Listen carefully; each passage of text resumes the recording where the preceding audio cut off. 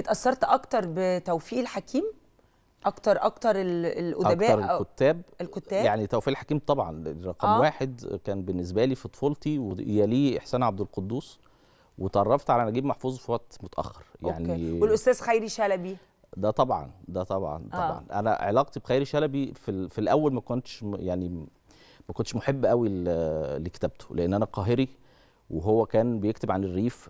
فأول معرفتي. بقصص خيري شلبي ما كنتش يعني مندمج معاها قوي مم. بعد شوية لما بدأت أشوف ال- الروايات اللي هو كتبها عن القاهرة آه، زي صالح هيصة مثلا اندمجت جدا مع ال- العالم لأن حسيت إن هو عالم شبه ال- ال- اللي أنا أعرفه.